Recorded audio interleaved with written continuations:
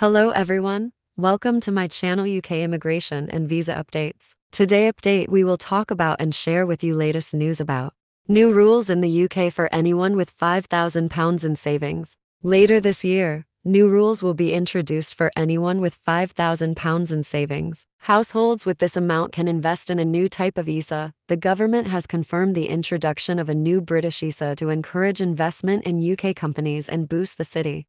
Chancellor Jeremy Hunt announced, this will be on top of the existing ISA allowances and ensure that British savers can benefit from the growth of the most promising UK businesses as well as supporting them with the capital to help them expand. Money saving expert Martin Lewis responded on Twitter or X, saying, It will probably happen later this year and there will be a £5,000 extra if you're investing in British assets. Those who use their whole £20,000 tax free allowance on an ISA savings account that provides users with tax free interest payments will be eligible for the British ISAPRE. Savings expert Kevin Brown of Scottish Friendly remarked that the extension of the ISA allowed in the form of an extra £5,000 tax free to invest exclusively into the UK was encouraging.